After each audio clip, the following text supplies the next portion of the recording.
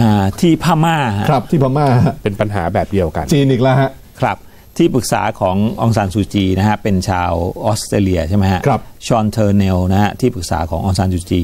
กล่าวในงานสัมมนาที่สิงคโปร์ถึงมูลค่าการก่อสร้างท่าเรือน้ำลึกจ็อกผิ่วนะฮะที่เอ่อการลงทุนของรัฐบาลจีนเนี่ยประเมินไว้ 7,500 ล้านดอลลาร์หรือประมาณ 2.34 แสนล้านบาทเนี่ยเป็นราคาที่สูงเกินกว่าที่เมียนมาจะรับได้ คือเขาบอกว่าบ้าไปแล้วอะฮะ บ้าไปเลย This is crazy ราคาระดับนี้คือบ้าไปแล้ว แล้วอันนี้ก็ one belt one road อีกแล้วฮะ ใช่ one belt one road นี่เพ่นพ่านไปทั่วเลยนะฮะ ถูกฮะ ก็การเป็นเป็นการแผ่ขยายแสนยานุภาพของจีนนะทำไมจีนเขาเก่งอะเขาเจรจากับประเทศไหนโดนเอาเปรียบหมดเลยเออนั่นสิหรือรัฐบาลประเทศที่ไปเจรจาเขาแล้วเสียเปรียบหวยเอง ใช่เพราะมันหลายประเทศเหลือเกินนะผมไม่ไม่หรอกเข้าใจ มันมันคือการมันมองมัน มหาอำนาจใหม่ไงเขาเก่งไง ซื้อเพื่อนอะไรอย่างเงี้ย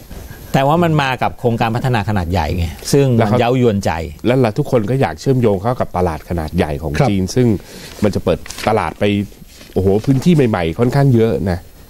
เขาบอกว่า this is crazy โครงการส่วนขยายของคลองปานามา ปานามามูลค่า 5,250 ล้านดอลลาร์ แต่ท่าเรือ จ็อกผิวเนี่ยใช้เงิน 7,500 ล้านดอลลาร์ นับเป็นเรื่องไร้สาระอ๋อนี่จะลื้อฟื้นการเจรจาอีกเลยใช่คือคือคลองปานามาเนี่ยมันทั้งโลกนะมันเป็นเส้นทางสำคัญใช่ของการผ่านเข้าออกของลัดน้ำเวมันลาลัดการเดินทางได้เยอะมาก มันยังแค่ 5,000 กว่าล้าน เออเออของพม่านี่เข้าไป 7,000 กว่าล้านดตออลนลาร์นี้เท่าไหร่นะฮะ เออ7,000กว่าล้านดอลลาร์ City 7,500ซิติกรุ๊ปซิติกรุ๊ปนะฮะ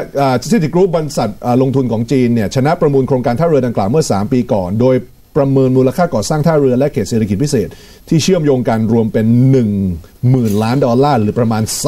3.19 แสนล้านบาท โอ้โห ซิติกรวยไปเลยงานเนี้ยเพราะเขาใช่ต้องการที่จะเอ่อใช้ตรงนี้แทนทวายไงโอ้โหฮะแต่ซิติกเนี่ยคือ เขาถือหุ้น 70%นะฮะในทำการทำท่าเรือเนี่ยนะโครงการนี้ ส่วนที่เหลือเนี่ยจะเป็นการถือหุ้นคนละครึ่งระหว่างรัฐบาลเมียนมากับกิจการร่วมค้า